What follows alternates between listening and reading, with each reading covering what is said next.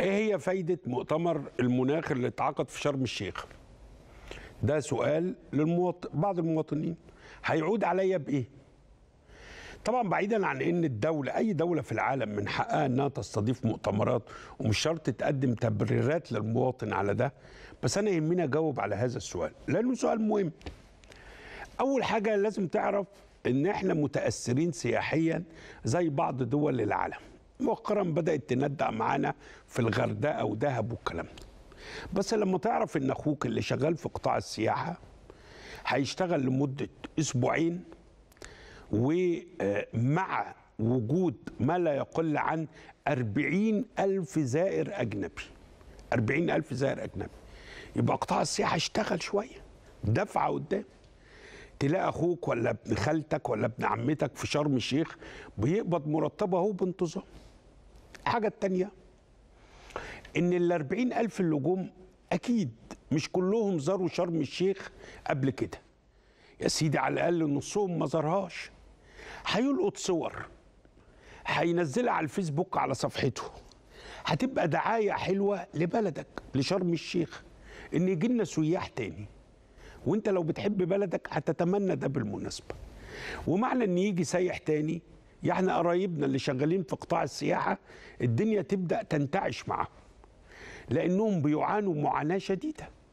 بيعمل في قطاع السياحة عمالة مباشرة يقبضوا كده في قرابة 2.5 مليون. عمالة غير مباشرة زيهم برضه. يعني تتكلم في 5 مليون معتمدين على السياحة. يبقى هيجي لك سائح تاني. حاجة كويسة.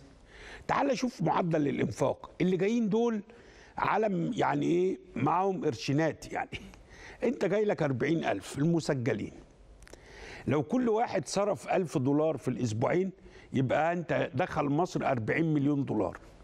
طب لو كل واحد صرف متوسط 5000 دولار ما هو نازل في فندق بيصرف بياكل بيصرف يعمل رحلة غطس بيصرف بيركب مواصلات بيصرف بيشتري شوية حاجات يعني آآ آآ آآ على سبيل الهدية لأصحابه بيصرف. لو كل واحد صرف من متوسطه 3000 دولار يبقى دي 120 مليون دولار. انت محتاج لهم محتاج لهم. السياحة ميزتها العبقرية إنه نشاط يولد الدخل فورا. أول السائح ما ينزل من الطيارة بيروح مطلع الدولار على طول. مش لسه هتعمل مصنع وكلام. مش معنى كده لا المصنع أهم لأن السياحة بأي مشكلة بتحصل بتتأثر. يبقى ده مكسب ثالث يبقى المكسب الأول جميع العاملين في قطاع السياحة في شرم الشيخ استفادوا ودهب. اتنين دخل مصر في حدود 120 ل 150 مليون دولار. ثلاثة ترويج سياحي لمنتجع عالمي اسمه منتجع شرم الشيخ. قلت لك في عشرين ألف. أربعة عشرين ألف وارد ما يكونوش زاروا أربعة اسم بلدك بيتصدر وسائل الإعلام الدولية. ودي حاجة حلوة. دعاية. عايز أقول لك دعاية ببلاش. طيب دعاية ببلاش ليه؟ لأن أنت علشان اسم مصر يجي إيه اللي يخليها يتصدر أي أجندة دولية؟ فاهمني؟ طيب في مكسب تاني اسمه المكسب السياسي للدولة المصرية. وده مهم. أكيد قادة العالم مش هيجوا لدولة غير مستقرة سياسيا. فدي شهادة لأن الدولة المصرية مستقرة ما فيهاش مشاكل أمنية. لما أنا أشوف رؤساء الدول دول موجودين في شرم الشيخ يبقى البلد دي أمان بدليل إن في أكتر من 150 وفد زاروا مدينة شرم الشيخ. صح ولا غلط؟ بص أنا بكلمك كده بالعقل بالراحة يعني. فكل ده تأثير تأثير الدولي هذا المؤتمر مؤتمر مهم جدا بتقيمه الأمم المتحدة كل عام في قارة من القارات. في قارة من القارات. يعني السنة الجاية هيقام في قارة آسيا في دولة الإمارات العربية المتحدة الشقيقة. السنة دي كان مفروض يقام في أفريقيا. مصر تقدمت بطلب. كان ممكن يترفض؟ آه ممكن يترفض. لا. بس في تقدير سياسي هنا للدولة المصرية وللشعب المصري. لا. الشعب ده مضياف الدولة دي مستقرة. البنية التحتية لمدينة شرم الشيخ تستوعب ده. بالمناسبة أنت ممكن تحضر مؤتمرات دولية في بعض الدول المتقدمة تجد فيه ارتباك بالمناسبة في التنظيم. الكل شهد بتنظيم مصر لهذا المؤتمر. طب ده يعني إيه؟ هقول لك. أنت المرة دي عملت مؤتمر للتغيير المناخي انت كده بتحط مدينة شرم الشيخ ومفروض تتحط على أجندة سياحة المؤتمرات. مش انت عندك مؤتمرات بتعقد كل شوية لمنظمة أوبك بتاعة البترول؟ طب لماذا لا تدعو مصر منظمه أوبك يجتمعوا عندنا هنا في مدينة شرم الشيخ؟ إيه اللي انت متخيل الوفود دي؟ مفيش أجمل من كده. انت عارف لو كل يومين ثلاثة عندك مؤتمر إحنا بعتنا رسالة للعالم بنقول فيها أن مصر قادرة على تنظيم مؤتمر يحضره أكثر من 150 قائد دولة ونوفر لهم الأمن والأمان وأربعين ألف مشارك ونوفر لهم المواصلات والأكل والشرب والمزارات لمدة أسبوعين. إذا أنت بتقدم رسالة غير مباشرة. لأي حد في العالم عايز ينظم مؤتمر طب ما تيجي شرم الشيخ. مين اللي يعمل ده بقى؟ الحكومة بقى. هنا وزارة السياحة تستفيد. وزارة السياحة تعرض الصور دي. مصر استضافت مؤتمر شرم الشيخ. شفت الشغل بيجي إزاي؟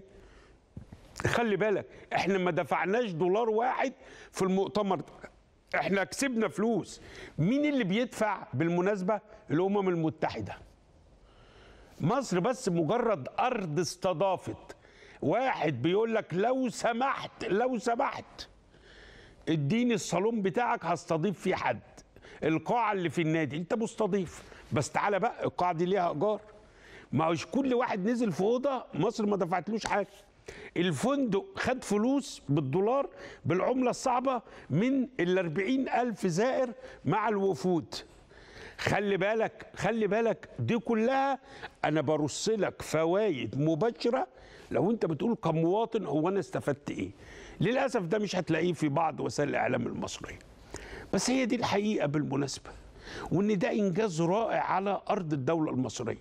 أتمنى بقى من وزارة السياحة الاستفادة منه. أتمنى الحكومة تشتغل عليه. تقول لماذا لا يتم ترويج مقصد شرم الشيخ كسياحة مؤتمرات في كل حاجة؟ غير كده بقى المؤتمر ده الخاص بالمناخ والتغيرات المناخية مؤتمر شديد الأهمية. ليه؟ لأن العالم اتكلم كتير قبل كده على المناخ بس ما كانش فيه تنفيذ للتوصيات. عشان كده المؤتمر ده مصر حطت له شعار وافت عليه الأمم المتحدة اسمه قمة التنفيذ مؤتمر تنفيذ التوصيات. في مطلب مطلب الدول الفقيرة بتدفع بتتحمل تبعات الدول الغنية. تعرف أمريكا بتساهم حوالي 22 23% من إجمالي انبعاثات الغاز في العالم. الدول العربية والأفريقية ما يجيبوش 5 7% طب أنا أتحمل ليه؟ خلي بالك وإحنا بنتأثر. هيبقى عندنا تصحر للأسف. تغير مواسم الأمطار تأثير الزراعة دلوقتي هيبقى معانا مداخلة مهمة.